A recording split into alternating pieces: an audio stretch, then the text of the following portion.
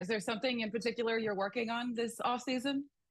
yeah, I think um, there's a lot. You know, I think uh, especially in this game, it's like you're never a finished product, and um, it's a constant adjustment process.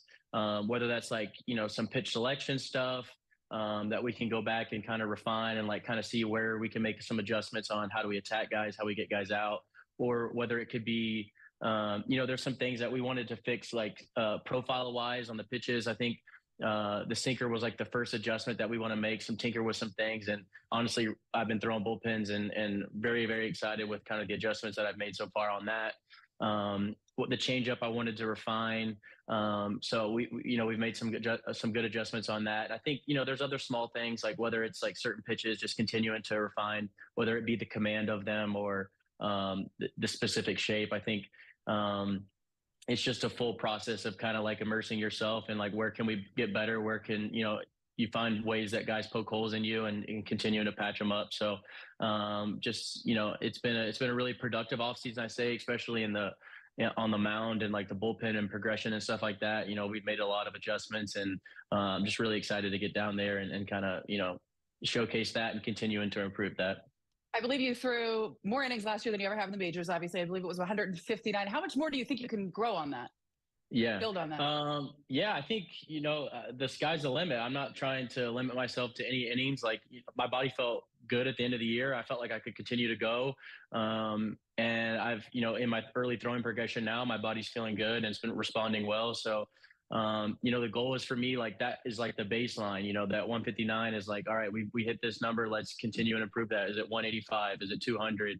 Um, so for me, it's just continuing to grow that. I want to be the guy who um, is kind of that workhorse in a rotation and can, and, and throw as many innings as he possibly can. And, uh, you know, I'm trying to keep up with Gerrit, You know, he's, he's kind of leading the charge as far as innings go in the league. And he's been doing that for some years. So I, I kind of trying to follow in his footsteps as far as that goes. All right, I can't help but notice a couple jerseys behind you right there. yeah, I didn't know. I just, I honestly just started building my collection a little bit this year, um, and I had these are two le- like guys that I grew up, you know, um, two legends. Kershaw, I got his when we were out there in, in LA, and then uh, I had to get Mariano Rivera. This, and then this was, I think, my debut jersey.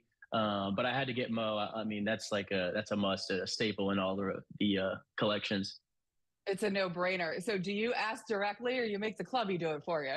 Yeah, no, no, you got to ask. Yeah, I, you got to ask directly. I think you know, especially when you're being around these guys, it's almost like, and I'm sure they get bothered, and and there comes a point where it, it probably becomes annoying, or it's a, or it's a little token of appreciation. But for me, I just you know take my time out of my day to make sure you know I can I let them know that I appreciate them and the work that they've done.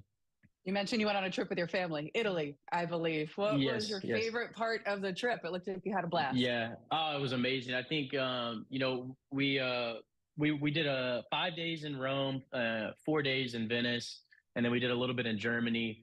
Um, but for me, Venice was like unbelievable. The history in Rome is like amazing, and the food is amazing in Rome. But something about Venice, just like the the food and and just like walking in, popping in at some of those little bars, like right there on the water. You hop in a little water taxi or or whatever, or gondola, and, and hop on to the next bar or, or restaurant and stuff like that. And the shopping was amazing. So I think just being able to be out there and see like a that was my first time in Europe. So being able to be out there and see a different culture and, and kind of the way they they work and, and live and it, it, was so cool and special for me and my family and to be able to spend it with them it was a it was a good reset um, for sure but you know now it's back to the grindstone I hear that. You make me want to hop on a plane, but baseball's right around the corner, so we've got to stay in Tampa. Right.